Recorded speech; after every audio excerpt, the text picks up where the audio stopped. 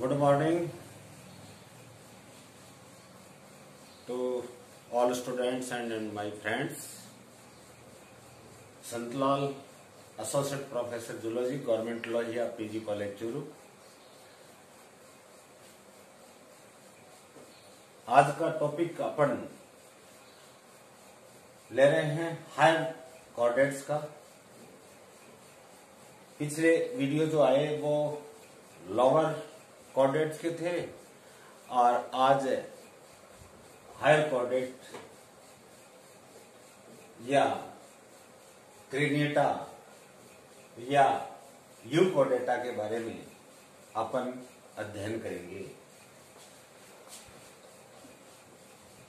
Group first था ए क्रीनिटा group second आया है क्रेनेटा क्रेनेटा को यू कोडेटा भी कहते हैं।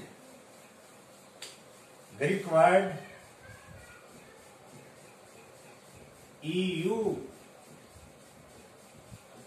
इंस्ट्रू पिछले वीडियो में फोर्थ वीडियो में मैंने बताया भी है, यानी वास्तविक रूप से ये ही कॉर्डेट होते हैं। ग्रेनेटा शब्द की व्युत्पत्ति दो ग्रीक शब्दों से हुई है। Cranion means head ata mean group, यानी जंतुओं का ऐसा समूह जिसमें हेड या स्कल या क्रेनियम या ब्रेन बॉक्स उपस्थित पाया जाता है। उसको अपन क्रेनेटा कहते हैं। अब क्रेनेटा के कैरेक्टरिस्टिक फीचर्स लेंगे। सबसे पहले आवास या हैबिटेट के बारे में बात करेंगे। ये जलीय भी हो सकते हैं। जलीय भी दोनों प्रकार के जल में फ्रेश वाटर में और मेराइन वाटर में, यानी स्वच्छ जल में और लवणीय जल में। टेरिस्ट्रियल यानी स्थलीय भी हो सकते हैं। एरियल यानी वायवीय जीवन व्यतीत करने वाले भी हो सकते हैं। दूसरा पॉइंट है मोस्टली टू पेयर अपेंडेजेज दो जोड़ी उपांग पाए जाते हैं। चाहे वो फिन्स के रूप में हो, चाहे वो लिम्स के रूप में हो। Head well developed head present यानी सुविकसित शीर्ष उपस्थित होता है और बाह्य कंकाल या एक्जोस्केलेटन भी उपस्थित होगा। Third is very very important notochord vertebral column में या कशेरुक दंड में बदल जाती है। यानी notochord transformed into vertebral column. Vertebral column में न्यूमरस वर्टिब्री पाई जाती है कशेरुकाई पाई जाती है, जिसको वर्टिब्रल कॉलम को बैकबोन भी या रीढ़ की हड्डी भी कहा जाता है। चौथा पॉइंट है, क्रेनियम। क्रेनियटा आया है, इसलिए क्रेनियम या स्कल या ब्रेन बॉक्स वेल डेवलप क्योंकि नाम ही क्रेनियटा है। चौथा है फेरिक्स के अंदर गिल सीड्स पाए भी जा सकते हैं और अनुपस्थित भी हो सकते हैं। एंडोस्टाइल एबसेंट नेक्स्ट पॉइंट क्या छठा, endostyle absent. In higher chordates pharynx के अधर सतह पे पाए जाने वाली ये एंडोस्टाइल थायराइड ग्लैंड में मॉडिफाई हो जाती है, रूपांतरित हो जाती है ट्रांसफॉर्म हो जाती है। इंपॉर्टेंट पॉइंट है कि एंडोस्टाइल लोअर कॉर्डेट में पाए जाने वाली एंडोस्टाइल हायर कॉर्डेट में किसके साथ में समझाता प्रकट करता है? या थायराइड ग्लैंड का एंसेस्टर कौन है? पूर्वज कौन है? यानी ये एंडोस्टाइल से थायराइड ग्लैंड की व्युत्पत्ति आती है। उत्पत्ति होती है। हार्ट, यानी हृदय में कक्षों की संख्या दो भी हो सकती है। टू चैम्बर्ड बोलेंगे द्विकक्षीय बोलेंगे द्विवेशमी बोलेंगे, और थ्री चैम्बर्ड भी हो सकती है। त्रिवेशमी, त्रिकक्षीय और चतुष्वेशमी, या फोर चैम्बर्ड भी हो सकता है, चार कक्षीय। किडनी लोअर नॉन कॉर्डेट में प्रोनेफ्रिक प्रकार की किडनी पाई जाती है। जब अपन origin and evolution of kidney पढ़ते हैं तो चार प्रकार की किडनीज होती हैं। आर्कीनेफ्रोस, प्रोनेफ्रोस, मिजोनेफ्रोस, मेटानेफ्रोस आर्कीनेफ्रोस एक काल्पनिक किडनी है और प्रोनेफ्रॉस लोअर नॉन कॉर्डेटा में पाई जाती है और मिजो एंड मेटा मेटानेफ्रिक प्रकार की किडनी क्रीनेटा में उपस्थित होगी। जंतु सेक्सेस सेपरेट होते हैं, लिंग पृथक पृथक होते हैं, नर और मादा अलग अलग होते हैं, यानी डायोसियस और प्रजनन अधिकांशतया सेक्सुअल या लैंगिक ही होगा। दसवा पॉइंट डेवलपमेंट दोनों प्रकार का। डायरेक्ट भी हो सकता है इनडायरेक्ट भी हो सकता है। डायरेक्ट यानी प्रत्यक्ष इनडायरेक्ट का मतलब उसके अंदर डेवलपमेंटल स्टेज आती है। जैसे एग आता है लार्वा और प्यूपा बनते हैं। और उसके बाद में कंप्लीट मेटामॉर्फोसिस होगी। ये तो है my dear friends Craniata group के 10 या 10 करेक्टरिस्टिक फीचर्स इसमें मात्र एक ही सब फाइलम है दैट इज़ वर्टिब्रेटा और वर्टिब्रेटा शब्द की व्युत्पत्ति कैसे होगी? देखिए आप, एक Latin word vertebratus means notochord पीछे बता भी चुका हूँ मैं फोर्थ वीडियो में। ग्रीक वर्ड एटा का मतलब होता है जंतुओं का समूह। जंतुओं का ऐसा समूह जिसमें नोटो वर्टिब्रल कॉलम या नोटोकॉर्ड उपस्थित होती है। आगे आएगा वर्टिबल कॉलम का नोटोकॉर्ड उपस्थित होती है। सॉरी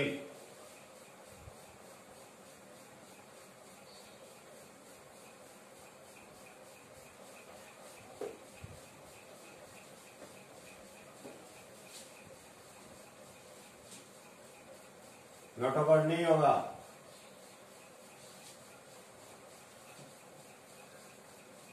वर्टिब्रल कॉलम होगा।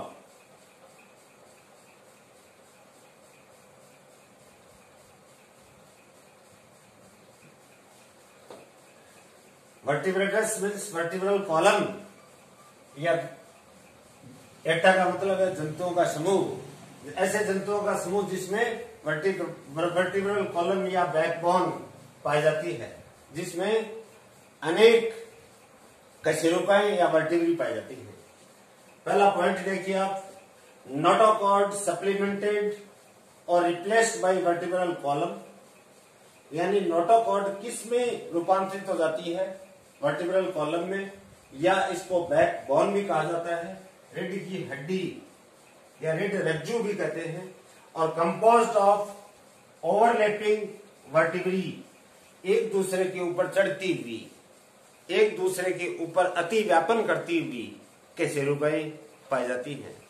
जैसे सर्वाइकल रीजन में अपने सात ओवरलैपिंग सर्वाइकल वर्टिब्री पाई जाती है। बॉडी इज़ डिविजिबल इनटू अधिकांश जंतुओं में तो चार भागों में विवादित होगा।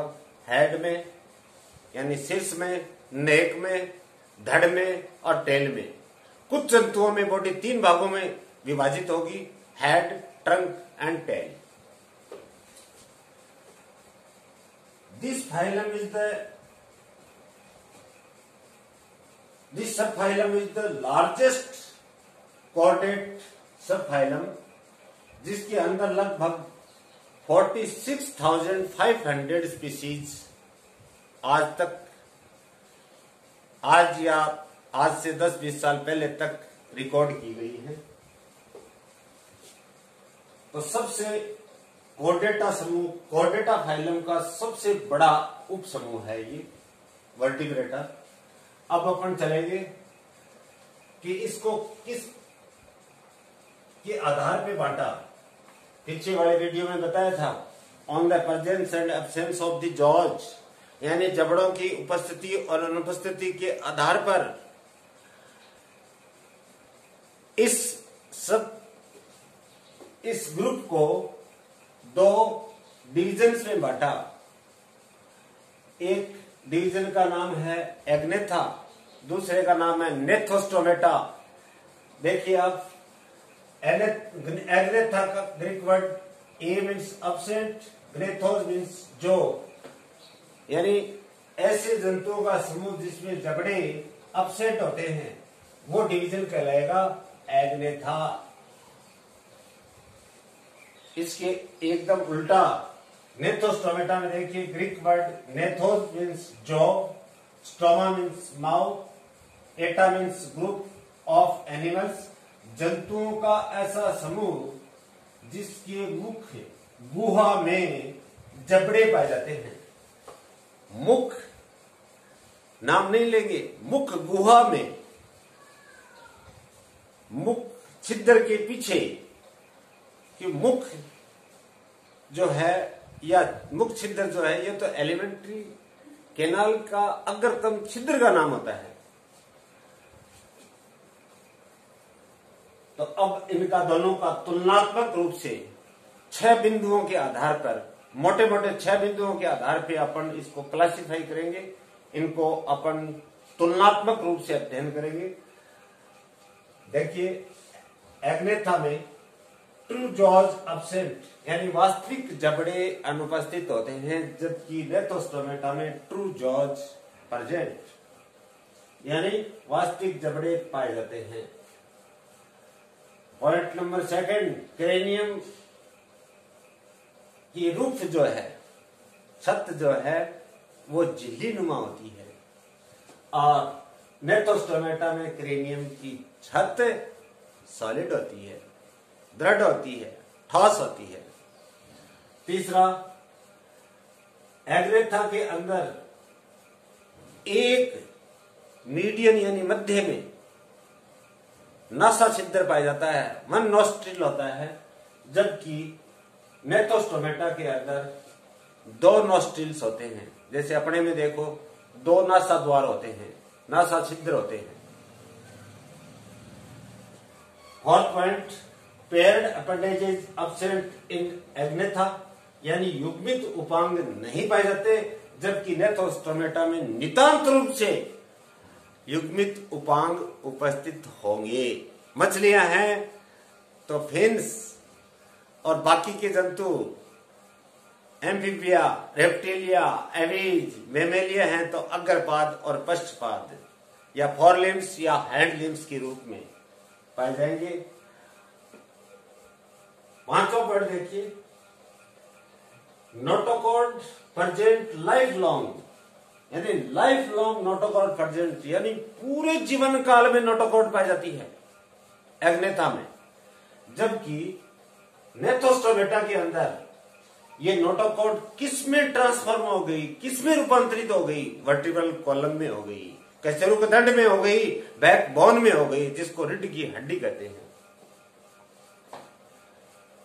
सिक्स पॉइंट इंटरनल ईयर तीन प्रकार के ईयर होते हैं external ear middle ear internal ear इसके इंटरनल इंटरनल ईयर एग्नेथा में तो दो ही सेमी सर्कुलर इंटरनल ईयर में एग्नेथा के अंदर तीन प्रकार के कण बताए थे, उसमें इंटरनल ईयर की बात कर रहा हूँ मैं। दो सेमी सर्कुलर कैनाल होती है, अर्धचंद्राकार नलिकाएँ होती हैं, जबकि नेथोस्टोमेटा के अंदर ये तीन सेमी सर्कुलर कैनाल या अर्धचंद्र अर्धचंद्राकार नलिकाएँ पाई जाती हैं। आप को ये समझ में आ गया होगा, पसंद भी आया होगा। अगर कोई विसंगति लगे तो आप मेरे कमेंट बॉक्स पे मेरे चैनल पे कमेंट बॉक्स पे कमेंट कर, कर दीजिए ताकि मैं इसमें सुधार कर सकूँ। और आप जुड़े रहिए। ऐसे ही आपको प्रतिदिन वीडियोस मिलते रहेंगे। धन्यवाद।